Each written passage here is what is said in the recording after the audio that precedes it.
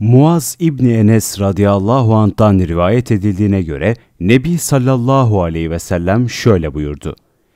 Gereğini yapmaya gücü yettiği halde öfkesini yenen kimseyi Allah kıyamet günü herkesin gözü önünde çağırır. Huriler arasından dilediğini seçmekte serbest bırakır. Ebu Davud ve Tirmizi rivayet etmiştir.